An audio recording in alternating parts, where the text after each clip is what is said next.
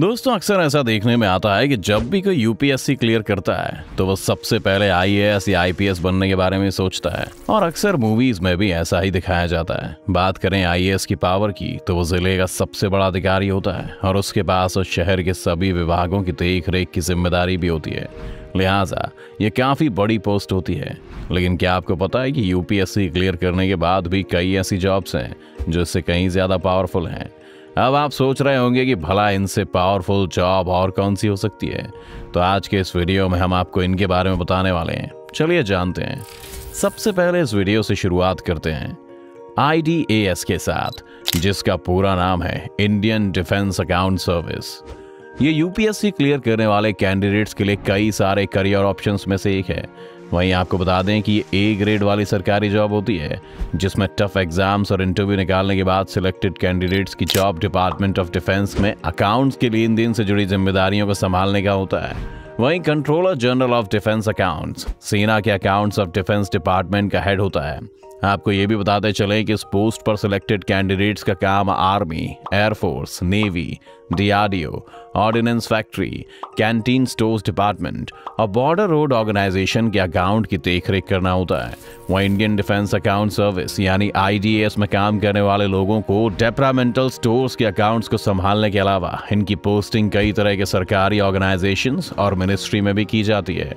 इतना ही नहीं, इस पद पर काम करने वाले लोगों को भारतीय सेना के नियुक्त राष्ट्र शांति मिशन पर विदेश में भी भेजा जा सकता है। इन सभी बातों को सुनने के बाद तो आपको समझ आ ही गया होगा कि सरकारी नौकरी कितनी पावरफुल है। आपको बता दें कि इस पोस्ट पर नौकरी मिलने से पहले कई चरणों में ट्रेनिंग दी जाती है। इसकी शुरुआत मसूरी में बने Lal Bahadur Shastri national academy of administration से होती है। यहाँ ट्रेनिंग खत्म होने पर सभी सिलेक्टेड कैंडिडेट्स को दिल्ली के centre of training and development में भेजा जाता है। इसके बाद बची हुई ट्रेनिंग के लिए इन सभी ऑफिसर्स को national institute of financial management में भेजा जाता है, जो फरीदाबाद में है। यहाँ इन्हें फाइनेंशियल मैनेजमेंट के गुण सिखाए जाते हैं। वहीं आपको बता दें कि इन सभी ट्रेनिंग खत्म होने के बाद पोस्टिंग से पहले इन्हें कुछ दिन के लिए national academy of defence financial management में भेजा जाता है, जो पुणे में है। वहीं इन सभी ट्रेनिंग को खत्म करने में चौबीस महीने, यानी दो साल का समय लगता है। तो करियर के लिहाज से ही एक ऐसी जॉब है, जिसमें बहुत सारा पैसा और प्राइड भी जुड़ा हुआ है। अब बात करें आई आर ए एस की। तो ये जॉब भी उन्हीं सिलेक्टेड कैंडिडेट्स को मिलती है जो यूपीएससी यानी यूनियन पब्लिक सर्विस कमीशन जैसे टफ एग्ज़ाम्स क्लियर कर चुके होते हैं। इसे इंडियन रेलवे अकाउंट सर्विस के नाम से भी जाना जाता है। इसमें हर साल 25 से 30 ऑफिसर्स का सिलेक्शन होता है। आपकी जानकारी के लिए बता दें कि आईआरएएस में काम करने वाले अधिकारी इंडियन रेलवे के फाइनेंस और अकाउंट्स के मेंटेनेंस के लिए रिस्पॉन्सिबल होते हैं। इसके अलावा इनके बारे में एक और चीज़ जानकर आपको काफ़ी हैरानी होगी कि संसद में पढ़ा जाने वाला रेल बजट बनाने के लिए भी यही लोग जिम्मेदार होते हैं। आज के समय में आई आर ए एस में लगभग 800 एम्प्लॉय काम करते हैं। वहीं इंडियन रेलवे अकाउंट सर्विस में काम करने से पहले इन्हें पूरे दो साल तक ट्रेनिंग दी जाती है। ये ट्रेनिंग कई अलग अलग जगह और स्टेप्स में दी जाती है। इसकी शुरुआत मसूरी के Lal Bahadur Shastri national academy of administration से होती है, जो national academy of Indian railway Vadodara और फिर फरीदाबाद में बने national institute of financial management में खत्म होती है। यहाँ सभी सिलेक्टेड कैंडिडेट्स को फाइनेंशियल मैनेजमेंट के गुण सिखाए जाते हैं। इसके साथ ही आईआरएएस के प्रोफेशनल्स भी पोस्टिंग से पहले 12 हफ्तों के लिए आईआईएम कैलकाटा में एक और ट्रेनिंग लेते हैं। तो अगर आप यूपीएससी की तैयारी कर रहे हैं और आपको फाइनेंस और अकाउंट्स की अच्छी समझ है तो आप यूपीएससी क्लियर करने के बाद इस जॉब को चुन सकते हैं। अब बात करते हैं तीसरे ऑप्शन की।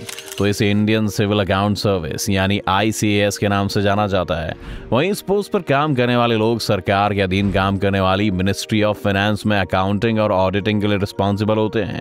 वहीं आईसीएएस में सेलेक्ट होने वाले कैंडिडेट्स की ट्रेनिंग तीन स्टेप्स में होती है, जिसमें शुरुआती छह महीनों की training national institute of financial management Faridabad में होती है। वहीं बची हुई ट्रेनिंग का दूसरा part institute of government accounts and finance में पूरा किया जाता है। और बाकी बची हुई ट्रेनिंग ऑन जॉब मिलती है। इस पूरी ट्रेनिंग की खास बात यह है कि इसमें एक फॉरेन टूर भी शामिल होता है। तो आज इस वीडियो को देखने के बाद शायद कई एस्पिरेंट इस जॉब को करियर ऑप्शन के तौर पर ज़रूर देखेंगे। अब बात करते हैं उन सभी से सबसे इंपॉर्टेंट और पावरफुल पोस्ट की, जिसे इंडियन ऑडिट अकाउंट सर्विस यानी आई के नाम से जाना जाता है, जो कंट्रोलर और ऑडिटर जनरल ऑफ़ इंडिया के अंडर में काम करता है। आपकी जानकारी के लिए बता दें कि इसमें बड़े से बड़े नेता भी किसी भी तरह का कोई पॉलिटिकल इन्फ्लुएंस नहीं कर सकता है।